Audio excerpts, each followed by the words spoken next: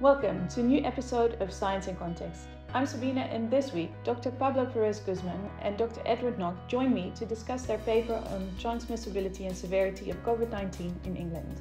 Ed, you used surveillance data. Can you explain? Yeah, so pandemic surveillance involves collecting data on infections and their impact on population health, such as hospitalizations and deaths. Our study covered a data rich period in England from the start of the pandemic until February 2022. This unique level of epidemiological surveillance allowed us to examine population level drivers of transmissibility and severity in an unprecedented detail for any pandemic pathogen.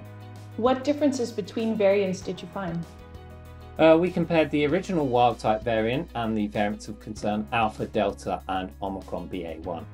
Each successive variant was intrinsically more transmissible, Omicron being three times more transmissible than the wild type. The Alpha variant was the most severe, followed by Delta, wild type, and Omicron. And the Omicron variant also had immune escape properties, which meant that protection against infection or severe disease from prior infections and vaccines was lessened. Pablo, what was the impact of interventions that you find? Before and early in the vaccine's rollout, protection against infection in the population was very low. Non pharmaceutical interventions were crucial to control transmission until enough people had developed immunity.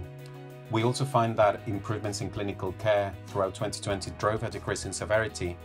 This trend, however, was reversed in the 2020 to 2021 winter because of the emergence of alpha and mounting pressures on the health system. What do these findings mean? The SARS CoV 2 pandemic is still ongoing, and other pandemic pathogens uh, pose a threat.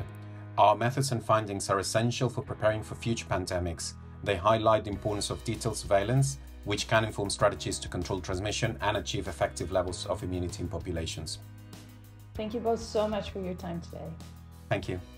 Thank you.